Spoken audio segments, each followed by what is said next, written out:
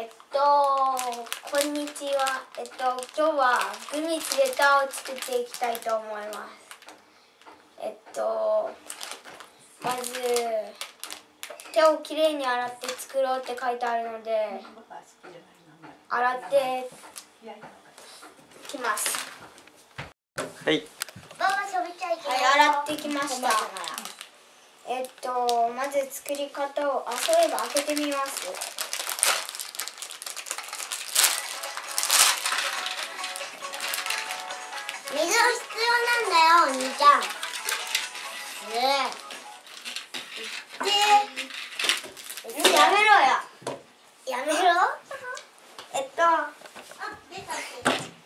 中に。やめろよ。何買い物して？えっと泡の素一番の粉？とグミの素が入っています。えっとグミの素には3、4回分入っていますって書いてあります。はい一番。はいえっとそれでやめろね。まず見てみます。えっとままずえっとねやめてえっとまずえっと三えっとトレイについている三角カップをハサミで切り取ってみよう。はい。じゃあえっとで切ります。えっとそれではいえっと次いきますえっとトレねやめて危ないよ。トレーの丸い方に三角カップで4杯。えっと丸い方ですね。えっとそれを4杯です。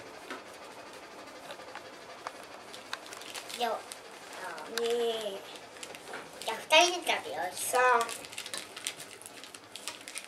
4はいえっと4杯入れて次に三角カップ4杯水一番の粉を入れて一番の粉ですね。これこれをえっと丸い方に今水入れた方に入れて混ぜますフォークでよくかき混ぜてくださいって書いてあります。でかき混ぜたら見えてる？こんな感じです。見えてない。えっとこんな感じです。えそれでえっと次にえっと二番さえっとクローバー型の方にクローバー型です。えっと三角カップで一杯。えっと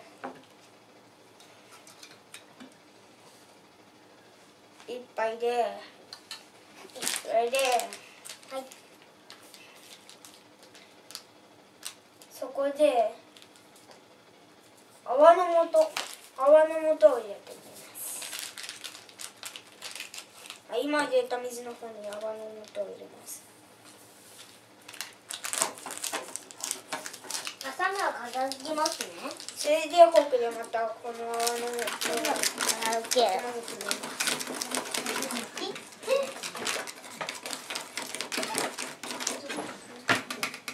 あいってくるそパンれで泡の素でかき混ぜたらこんな感じになりました。はい最後グミの素を入れます。えっとそれで次に俺があげたストローを取れる。えっとこのストローをこんな感じ？に曲げてこの緑？最初入れた方のやつに水を入れたやつに入れでてグミもそれで最後グミの素ストローに曲げた先がぐらいグミの素をストローを入れてえっとこのグミの素を開けました。この開けてそれでと注意がグミの素を34回くらいぐらいぐらい入っているので一度に全部入れないようにって書いてありますえっとこれをこれをストローの上にストローの先が見えないぐらいな感じ。それで入れます。それでえっとストローんグミの素グミの素をかけえっとかけます。ストローをゆっくりと持ち上げる。えっとストローをゆっくりゆっくり持ち上げます。かわいいねこれゆっくり持ち上げてそれでゆっくり持ち上げるとうん。ゆっくりも長いグミができます。それでできたグミはストローストローから外して泡泡ソースにつけて食べます。はいそれでいいよ。これでこのさっきあ2番目に作ったねどいてお前？なんで？えっと、2番目に作った泡のそ泡？泡にこのグミをつけてつけます。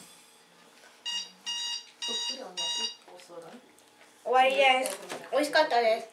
ありがとうございました